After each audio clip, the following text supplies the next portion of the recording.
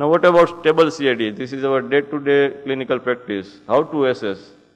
Anatomical by CT angiography or functionally by stress ECG, that is TMT, or by stress echo or by stress uh, nuclear scan.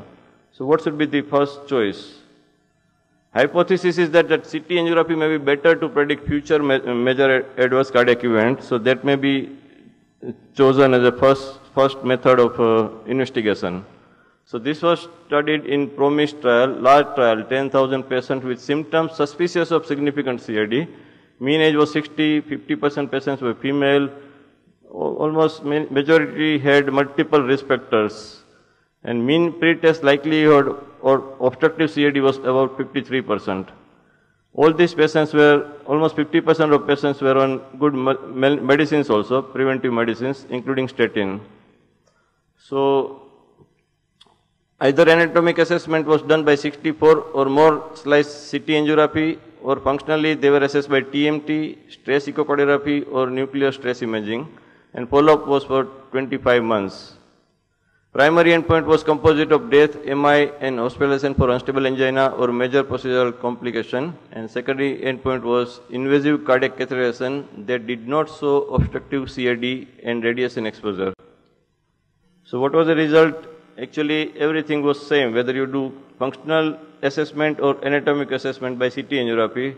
Event rate was although low, but at the end of 33 months, there was no difference between the outcome in primary composite endpoint.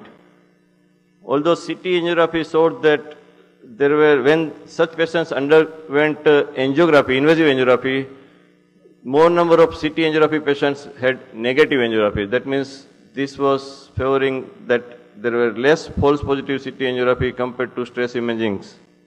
So conclusion, and secondly, when patients were compared with CT angiography and nuclear scan, nuclear scan cause more significant radiation compared to CT angiography. So actually nuclear scan also is not that safe.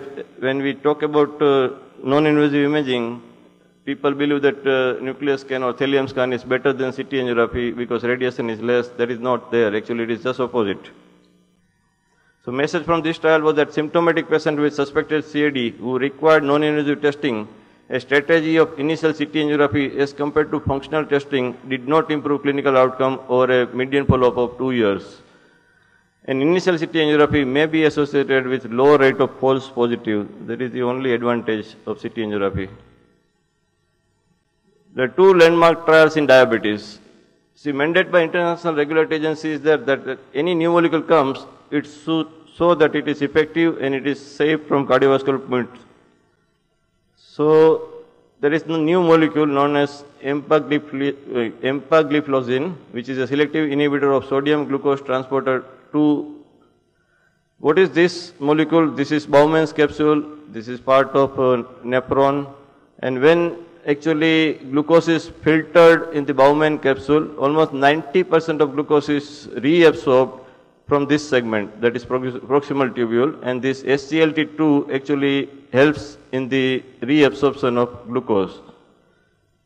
This molecule, gliflozin family, actually are inhibitor of this SGLT2 and when we inhibit this molecule then this glucose reabsorption will be prevented and more glucose will be excreted in the urine.